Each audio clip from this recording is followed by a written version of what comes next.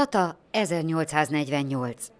A Református Gimnázium mind galériájának kiállításán különleges tárgyi emlékekkel találkozhatnak az érdeklődők a Tatai Helytörténeti Egyesület jóvoltából.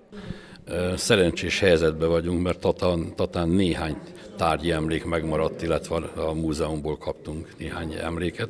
Abból az időben ez nem jellemző a legtöbb magyar településre, mert a hajnomi rémuralom mindent megsemmisítette, hogy az embereket, hogy iratokat is. Mindent meg, minden megsemmisült, és ezeknek a nagy része, ami Tatán megmaradt, ez itt van most. Ez azért rendkívül fontos, ezek a fiatalok láthatják, és a 48-as forradalom 200 éves évfordulóján, amikor ők 50 évesek lesznek, bizonyára emlékezni fognak erre.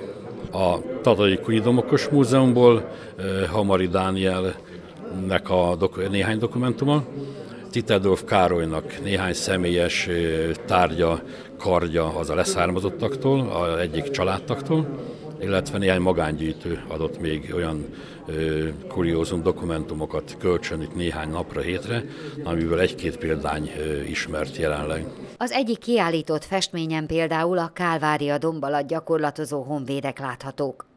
Ezt a festményt, amikor a tatai muzeológusok rátaláltak, felvidéki városként tartották nyilván. A Református Gimnázium különös hangsúlyt fektet a helytörténeti értékek megismertetésére.